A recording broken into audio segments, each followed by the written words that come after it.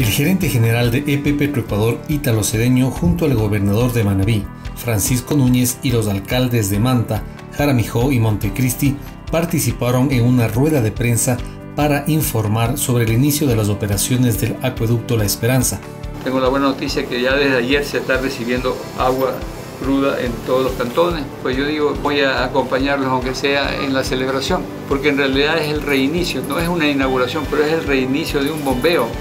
estaba paralizado. Es verdaderamente un privilegio estar aquí con ustedes y agradecerles por todo el apoyo que tuvieron para la reparación de este acueducto. Para nosotros es un gusto enorme tener al mantense Ítalo Cedeño aquí con nosotros, que con su liderazgo, su determinación, sus directrices y también con su seguimiento, la verdad que nos ha llamado poderosamente la atención cómo ha estado pendiente de manera continua para evaluar y de esa manera nosotros superar esta adversidad que se nos presentó en estos cerca de 25 días.